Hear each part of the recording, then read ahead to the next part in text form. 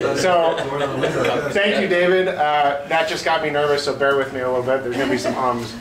Um, I also wanted to try and cover some, some additional and new information. Um, so I'll hand out this or pass it around. Um, actually, I need one. As an opportunity to, to kind of get through. Um, I was part of a conversation the other day recently. Uh, let me go back a second. Who am I?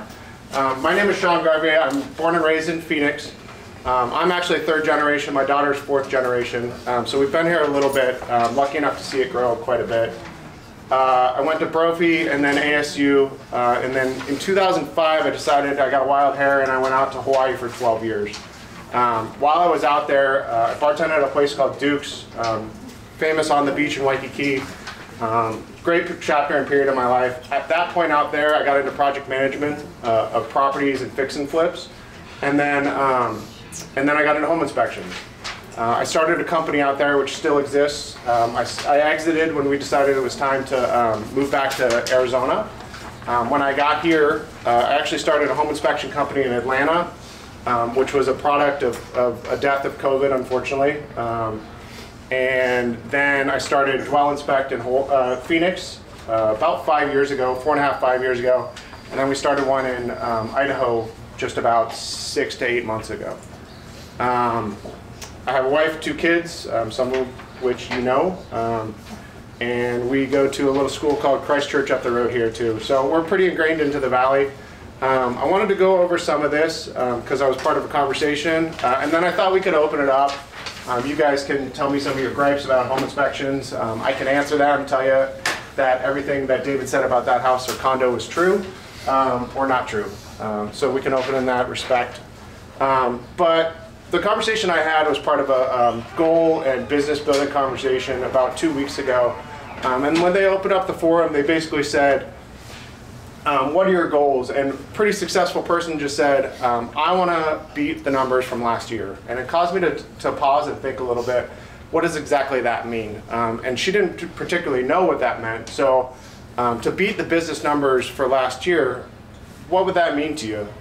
would you be happy or successful if it was a dollar? If it was $10, if it was $10 million, if it was 20 to $20 million. Um, so it just so happened I was reading a book um, called The Four Dis Disciplines of Execution. Um, and that really talks about getting clear and getting specific with your goals. Um, and so, so it caused me to think and reflect on my business, and I've been doing a lot of working and coaching on our business so that we can grow it to where I want it to be. Um, and and so the first thing to do is to, to basically look at your life um, and evaluate and get clear. Um, and what does that mean, evaluate and get clear? So when, when you say, I want to beat last year's numbers, you want to beat them by a dollar, $10 million, $5 million, you choose um, what the number is because it's, it's your life and it allows you to get clear. And then it also helps to, for you to look into your life wheel. And there's several aspects of your life wheel um, that that you can get clear on. You can it's a self actualization. You can um, take those numbers, rate them from a one to ten, um, and it allows you to measure and improve. And I've always said, or I've always heard, whatever you measure allows you to improve exponentially. Um, and if you if you go by that, you can look at your health, family, recreation, travel, career, work, financial, everything at, at that aspect. And if you can create tens in all those aspects of your life, you can improve your life. From there, you can improve your business as well and allows you to also make a plan. So number two is make a plan. Um, when you make a plan, it doesn't matter what the plan is. It gives you some guidance to run through there, and it, and it gives you the opportunity to stick to it. Um, creating a plan isn't specifically easy, but you have to know where you are currently. You've got to be honest with yourself. Good morning. Uh, you have to be honest with yourself, and then you have to think about where you want to go. Um, and, and you take those exercises through your business, through your life, and so on and so forth that helps you to, to get a plan. Um, the, the third one is show up and get accountable. Um, so I'm part of a, a, what's called a pod group uh, in the business building or the coaching mentorship that we have. Um, so once a week, every Wednesday at 9 o'clock, actually it's moving to Thursday at 9 o'clock, um, I shut everything down. I get on a Zoom meeting with four other successful home inspection companies across the country, and we have a, a standards and talk about and dissect our business um, talk about uh, activities and growth opportunities, and talk about our plans. Um, so show up and get accountable. Find a group or a team that you could work with, which there's plenty of successful people in here that you could work with uh, and get accountable. Set their goals, um, have what I call negative um, punishment, which uh, if you don't accomplish those goals, we have to throw $10 into a cup. Um, so it gets a little painful, but you, if you're going to lose something, you're more likely to, to um, stick to it. Uh, the fourth part is track and adjust activity level. So um, once a week as well, I take two hours and I dissect our business um, so that we can measure metrics, see the numbers that we're that we're having, make sure that we're achieving those numbers, um, and and continue to grow. And if we're not, uh, then we adjust the activity level so that we do start to meet those numbers. Um, the fifth one is getting into repetition and forming new habits. So 28 days to, to start a new habit. Um, if you can do something every day, start a new habit, just start with small incremental acts and allow those to grow and stack. Um, so the four disciplines of ex execution are discipline of focus, discipline of leverage, discipline of engagement, and discipline of accountability. Um, and so what I wanted to do was the discipline, or what I wanted to focus on was the discipline of focus. Um, ironic. Uh, and I got to tell you, this book's super boring. Um, it takes a really, really long time to get through, but there's there's tons of gold through it. So I got the Audible version of it. I've shut it down like two or three times, and I keep picking it back up and getting into it. Um, and I'd encourage you to do the same. So discipline of focus is on the really on the one sheet on the back that I gave to you.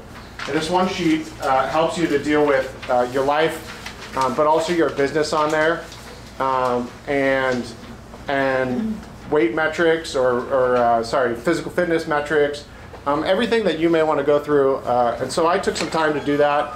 Um, I'll be a little vulnerable and I'll talk about some of the stuff that I have on there, and I encourage you to do it together too. And I, and I did that kicking and screaming as well, um, but my pod helped me to be accountable, so I went through it. So our theme for the business this year is is rise together, um, meaning that if we can bring up the group that's around us, we can all become more successful, and that includes our family, uh, our business, uh, our associates, our team members, everything on that. Um, we talked about financial analysis in there. Um, so last year, my goal for the business was to be over a million dollars. Um, a million dollars in the home inspection business is, is a pretty high threshold.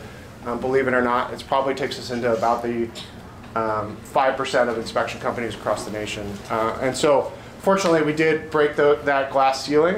Um, talked about horizontal income, so passive or residual income that we have in our life, um, what it costs to, to live our current life, and how we can adjust that as well. Um, my 2022 upcoming high, so my top five goals is 10 speaking engagements. So um, thank you, this is number one. uh, digital speaking classes. So I want to develop a list of digital speaking classes um, so that we can um, educate other people. I've talked with David about it specifically, but my goal would be to educate real estate agents about home inspections so that they can have a, realistic conversation with their clients.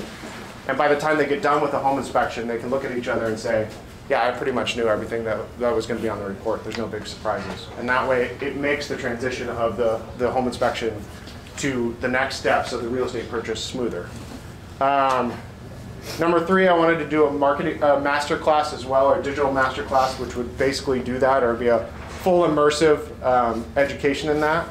Um, number four would be to develop two leaders within my team, so two lead inspectors within our team to help manage other inspectors within our team. And then I did a little um, dream, dream graphic of, of what that team looks like um, for this year. And so number one is Sean. I want to have six inspectors, two lead inspectors, one office manager, three client care coordinators, and one marketing rep. Um, so all of that engaged gets us to the numbers that I have goals for 2022. Um, and then our top 20, 2021 high, um, so goals that we did achieve in 2021, um, we developed and maintained staff. So in 2018 when COVID hit, I basically lost all my staff. Um, I had one that left for another job uh, one that unfortunately developed cancer, uh, and then I had to basically start over. I was hiring. Um, I hired on Monday, COVID hit on Wednesday, and the whole world shut down. Nobody wanted to come to work. Um, so for that entire year, it was me and another guy. Um, we did three inspections a day, seven days a week, until we were able to build back and open back up. Um, in, the, in that past year or two, we were able to hire five other inspectors and sustain them. Um, so developed and maintained staff was really important for me because I was uh, doing a lot of inspections, a lot of attics in there. Um, we identified some leadership within our team. Um, we transitioned the business beyond individual, which is important and tough for a home inspection team. Um, most people get stuck and want to have just Sean, and we were able to add really, really qualified team members that they're getting requests as well. So that was a big victory for us. Uh, we started Boise, uh, which was also good. Uh, basically, somebody called and asked to do a ride along, and we decided to form a, a mentorship and, and, partnership team out of that. Uh, and then we exceeded goals, and then we hit $1 million or over $1 million in revenue. Um, so that was that, and then key lead measures for daily and weekly tracking. So now we have a weekly staff meeting, um, which is super important. Uh, we didn't have that before. It was it adds a little bit of structure, and conversation, and check-in and team unity. Um, so I have what's called a two by two, so twice a week for two hours a day, or twice a week for two hours. I shut off my phone and, and the world can't reach me so that I can work on my business instead of being reactive and defensive in my business. And then I have that uh, two hour uh, business analysis. And we have our pod meeting. Um, and then we have quarterly one-on-one check-ins with our staff. Um, so we've kind of emerged from, from a home inspection guy to, you know, quite, quite honestly, a home inspection business. Um, so these are all great things to do. I'd encourage you. I didn't enter all of them, but I would certainly encourage you to do that because um, it, it opened my eyes quite a bit. Um, and then here's the other thing uh, that I find too is why ex execution fails. Um, and this is part of this book. Um, I often live in the whirlwind, so if I don't take time to work on my business instead of in my business, um, that's, that's me playing defense all the time. Um, and it's really easy to feel like when you're playing defense um, that you're busy or that you're productive, but instead you're just being reactive. Um, and when you're reactive, you're not able to grow, you just kind of maintain where you're at. Um, so it's the existing work and the urgent tasks that need attention now. Instead of having the, they call it wildly important goals or WIGs throughout the book. I can never remember that, so I always just call them um, big, hairy, audacious goals or big, audacious goals. Um, but when you have wild, uh, wildly important goals, um, you develop new activities, allows your business to grow, and then you work on the important instead of the urgent. Um, but it allows to, for clarity, uh, allows you to gain focus and get to know where you're going. Um, so that's kind of that aspect. I hope it added some value and, and you found some interesting information on it. Um, anything else, or let's just open up for questions about home inspections and I'll be happy to answer them. Sean, what's this book called? The Four Disciplines of Execution. 4DX. Might be the smartest home inspector I've ever talked to. or That's great. you should see him with clients as well. Yeah. no, we actually use uh, Sean for all of our inspections. He's he's amazing. The company's fantastic. You guys are great. We Thank appreciate you. it. Thank you. Yes. How, how far out? Like, let's say I need an inspection tomorrow. Can you can you provide her? What's your timeline for? Um, yeah. yeah, good question. So um, most weeks, although the last two weeks really um, are quite a bit busier than I expected, most weeks we're somewhere in the range of 48 hours to 72 hours. Um, we're right around now Thursday. I think we're we have one on Sun an opening on Sunday, and then some Monday we start to open. I don't really. Yeah, that's okay. that's all right. Anybody else who needs to know that? I've, I've used them I think four or five times, and I've always gotten something within 48 hours yeah. every time. If we have to do a three-day inspection, we call them while our, uh, while our offer is in and request them before it's even accepted, just to make sure, and they've always worked really, really well at that. They've got a great online booking service as oh, well. So, you know, get in there and you can see what that is. At, at, the total extreme, I'd say that we did a deal actually with Rob, funny enough, on a huge 10,000 square foot place a couple of years ago. Sean had 10 home inspectors there, 10, doing it in about three hours in the morning. Yeah. So literally, however big or however small, totally works. Brilliant. Who's on, who are your inspectors now, Sean? Uh, I have Jeremy, Andrew, Robert, Ryan, Zach, um, and then myself. Then we have uh, four sewer scope guys, and then we partner with the pest control team as well. Um, in conjunction with that, we have two new guys in training, and then I'm interviewing a 3rd tomorrow. So that time period will shorten back down. Do you do any environmental inspections? Yep, uh, so sewer scopes and then we do air quality tests or mold. What's that? Legionella? Oh yeah, and then because of Andrew, we learned how to do Legionella, which I still don't know exactly what it is. As, as an inspector, what sort of behavior do you, or would you like to see from buyers, sellers, and their agents? Uh, that's a really open-ended question. um, no, I mean that's that is a good question. So um, we have a couple of practices which help give us tips. Um, our office staff are trained in DISC assessment, um, you know, personality assessment. So when you book an inspection, we reach out to the buyers and ask, introduce ourselves, um, ask them if they have any special concerns, and in that step, we're able to kind of determine if they're type A, type, um, if they're an engineer, if they're a lawyer, what what have you, and what's going to make them click.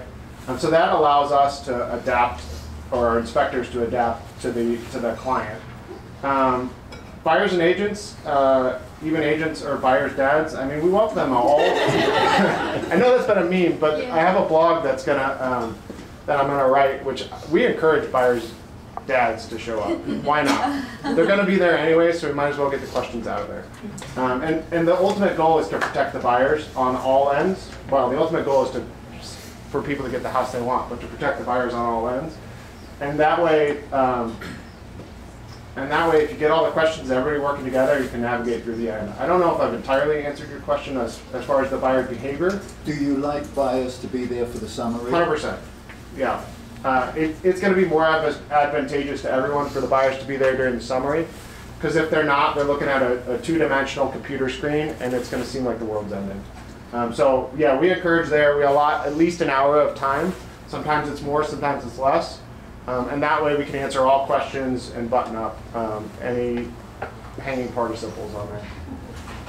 Good? Yeah. Another thing Sean does if your buyer can't be there for whatever reason is he'll do a, a phone call with them and go through everything, even a video call. Yep. So you can do FaceTime with them, which is really helpful. Yeah, we've done FaceTime. Um, if they're not there and they don't want to get on FaceTime, we send the report. We've met with some one of your buyers Yeah. uh, on the phone afterwards because I think it's really important to, to talk to them and help them through. And I think Legionella is a um, bacteria found in water heaters. You were- Legionnaires. You were, you were asking what is Legionnaires. Legionella? It's Legionnaire's Legionnaires disease. disease, yeah. Yep, often happens in London for some weird reason. Yeah. How do you know you needed that? My client asked, or the buyer asked for it. Yeah. It comes from standing water that's sitting somewhere and then gets Yeah, blown like out water and then it gets heater. cascaded into the street and a lot of people drop dead. I mean, that's basically it.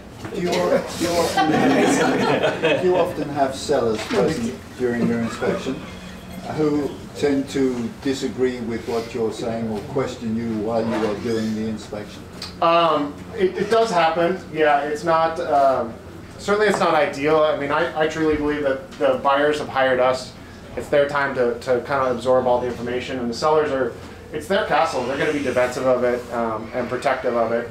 Um, so yeah, they come in, some are great. Um, they, you know, I've had sellers come in and we walk in and, and, um, they're the engineer type and they say, here are the six things that are wrong with the house and they were right. Um, and they'll show them to us. And then some of them get really protective about the environment, don't know what condition the house is in. Um, and then when they find out the true condition of it, they get defensive or not angry, but um, let's just say rattle. yeah, Or they'll get mad that their inspector didn't discover. Or they'll get mad, inspector, yeah. Yeah, so it's a that's a good question. Um, I, I mean, I, I truly believe that it's private time, but it's their house, and we're not going to ask them to leave. So they're welcome to be there. Good. Yeah. Thank you, Sean. Yeah, of course. Thank you. Of course. What other questions? Any other building or business questions as well as home inspection questions? that, no one's expecting that this morning. Anything else? I would just say that, that, you know, I think, as you all know, the most important part of a home inspector is their delivery at the end. I mean, obviously, knowing what they're looking at is important too, but, um, they can kill a deal.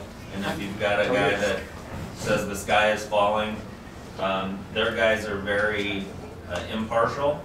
They tell it like it is, but they do it with kind of a secret sauce that doesn't come across as making it seem like the sky is falling and, you know, they don't say, oh, this air conditioner needs to be replaced. Well, you know, if, if it's blowing good splits, you can't tell me that an eighteen-year-old air conditioning needs to be replaced. And they don't do that, which is great. Um, I'm at every one of my inspections, whether it's the side or the sell side, and, Um, we always use him, but when he's there on the other side, it's nice too, and I recommend you build a relationship with him because you might be on the other side where Sean shows up and then, know, I don't recommend you go, hey, good to see you, you know, lovey-dovey with him, but, uh, it, uh, it definitely helps, you know, when you have a relationship, and they're, look, they're still gonna tell it straight, um, even though he knows I'm gonna be disappointed sometimes in what he's gonna tell me, but they do it in such a way that it's not gonna blow a deal, and I've had plenty of inspections where the inspector comes out like the house is falling over. Well, And- you can tell your seller that you trust his opinions. Right. It's not just them or smoke up the fire, but. Right, and his guys are all really good.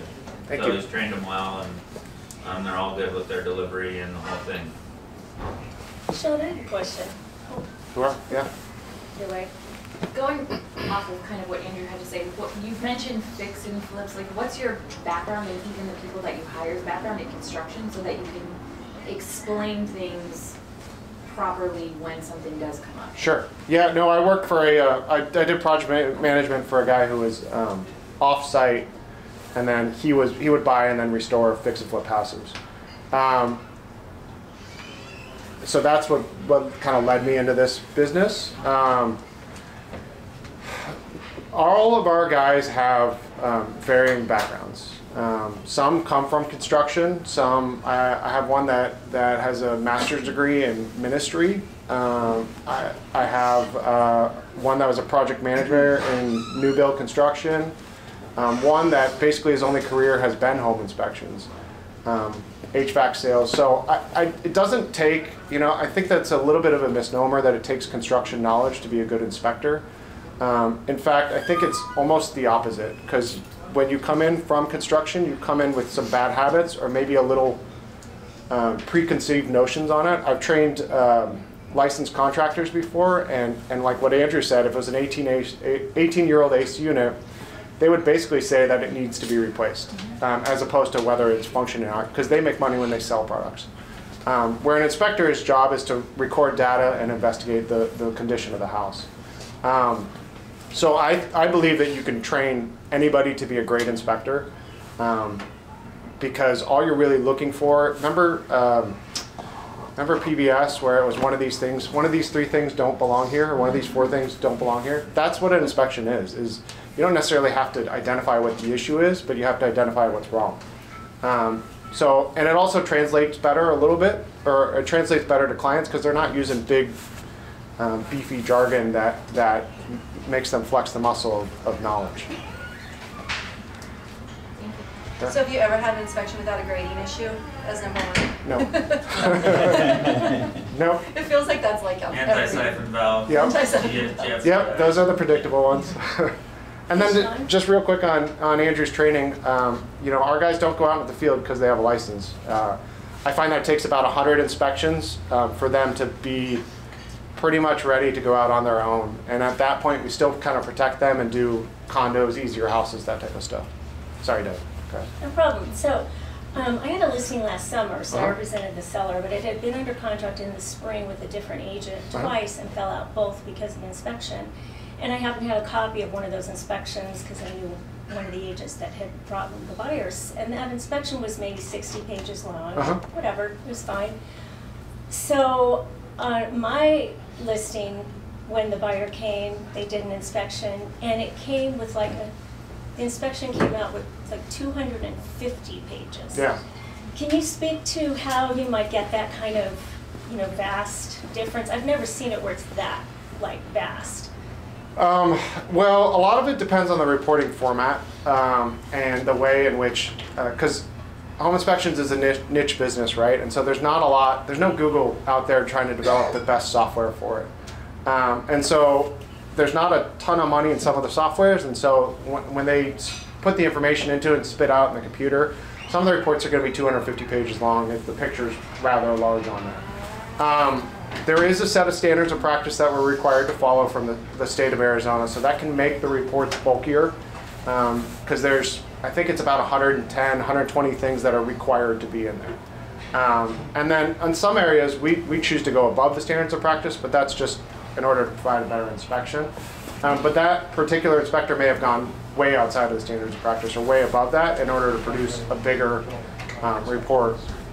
Our software has two capabilities, and one is a web-based capability, which is really tight and streamlined. But if you print it out in PDF, um, it ex- it's not a, they're not focusing as much on the PDF on it, um, and so it, it comes out pretty long. Um, so maybe that's kind of the realization or the respect that. But we also put a lot of pictures in there. We probably put I don't know 150 pictures in, in and videos and so on and so forth too. So that can add to it. Um, So mostly the software based on it's software number. well, not necessarily. I mean, it could be a nitpicky report. Um, you know, just wouldn't necessarily know without. But there are some long ones out there, Yeah. for sure. Another question, Sean. Yes. Um, as we know, a home inspector's job is to describe the functionality Mm-hmm. of the items that they're looking at. If you have a water heater that is perhaps 11 years old, a roof or an air conditioner that is 15 years old, and it's functioning correctly as it should, do you say this is nearing the end of its life, it should only be, or do you give a warning that it is coming to the, the end of its life, or do you just report that it is functioning the way it should function? Um, so on the report, yeah, we would, we would, we don't say end of life, we just talk about the estimated life cycles of it. So water heaters somewhere in the range of eight to 12 years. Um, I've seen 30-year-old water heaters working just fine. Yeah, exactly. Um, so yeah, of course, there's a little disclaimer in there. Um, it's not coming out in bright red or hot pink or anything like that, but it says estimated life cycle is, is of a water heater somewhere in the range of eight to 12 years.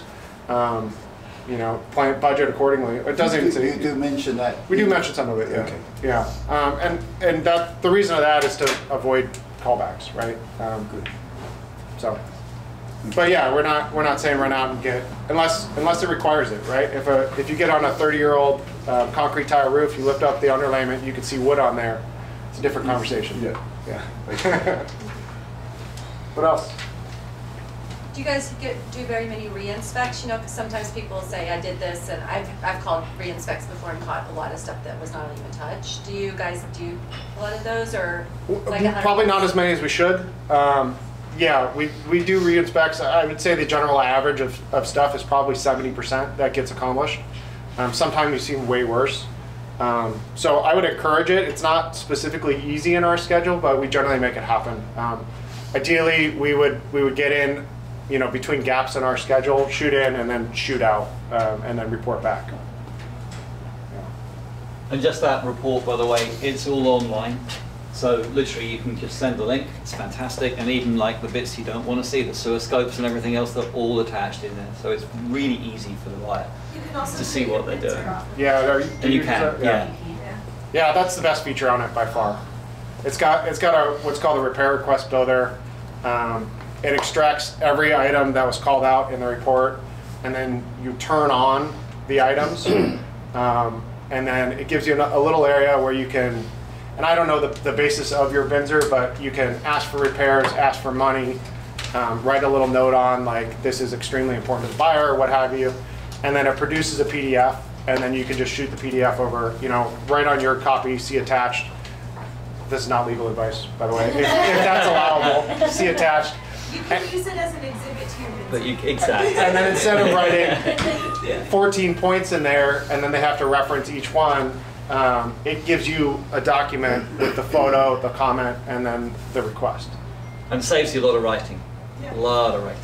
Sean, thank you so much. I really Thank you. appreciate you. Thank you all.